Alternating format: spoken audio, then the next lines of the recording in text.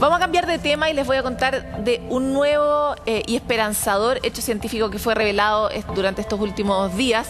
Este fármaco que logró eliminar el cáncer colorectal en un 100% de los pacientes en los que fue testeado. Este era un resultado que no esperaban quienes desarrollaron el estudio, pero la remisión total del cáncer abre unas esperanzas que quienes hemos tenido un, paciente con cáncer cerca eh, miramos con gran ilusión. Vamos a revisar el informe de Natalia Muñoz.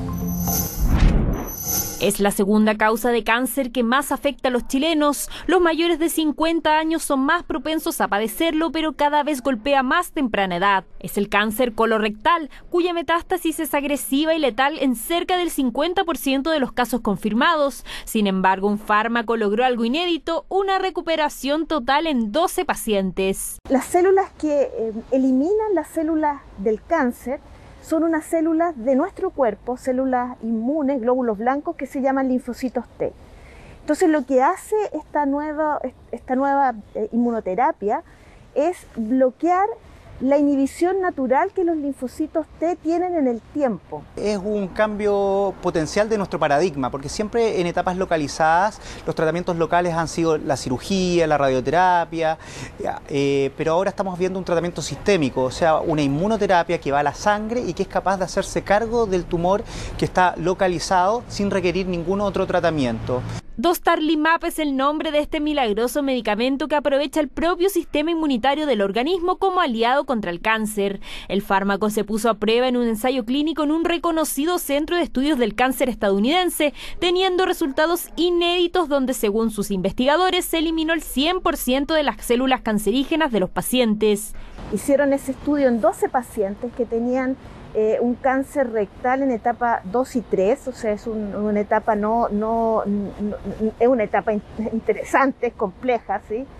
Eh, pero en ese caso, entonces, en ese subgrupo, porque no en todos los pacientes de cáncer colorectal, la inmunoterapia resultó espectacular. Es como disparar con un rifle al cáncer, ya es muy específico para el cáncer y con en general mínimas molestias para el paciente y toxicidades. Cuando estos medicamentos tienen eh, complicaciones graves que se da más o menos entre un 5 a un 15% de los pacientes, eh, son de fácil manejo hoy en día con los conocimientos que tenemos los médicos.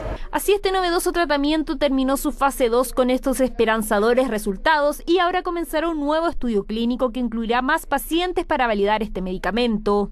Si con esto se logra evitar la cirugía, que es mórbida y tiene secuelas, muchos enfermos se van a beneficiar.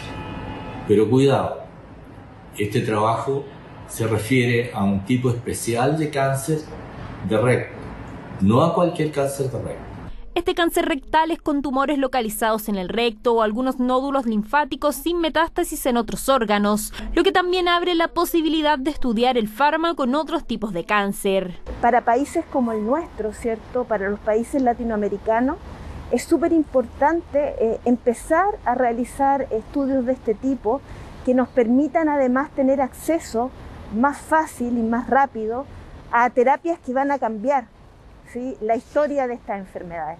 Esta inmunoterapia ya se ha utilizado en otros cánceres como melanomas y de pulmón, también con muy buenos resultados. Mientras se buscan más resultados óptimos, el llamados a la prevención y detección precoz de esta enfermedad para evitar su letalidad.